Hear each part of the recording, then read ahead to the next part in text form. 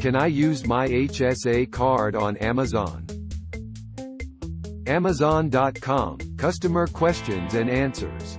Yes, they are HSA eligible, but you need to buy them at a pharmacy if you want to use your HSA Visa card.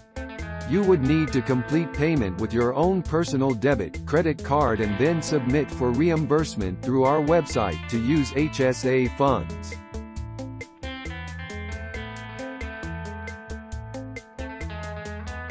Thanks for watching. Please subscribe.